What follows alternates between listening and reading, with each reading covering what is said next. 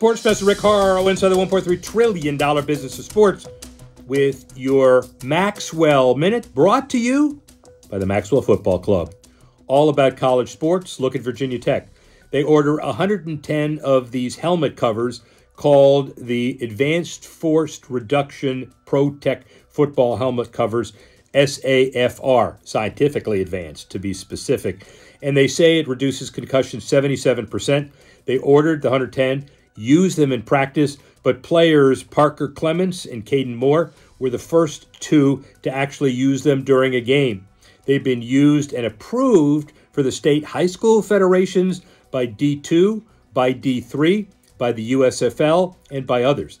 Bottom line is technological advances that reduce the risk of trauma and concussions is all about the future of the business moving forward.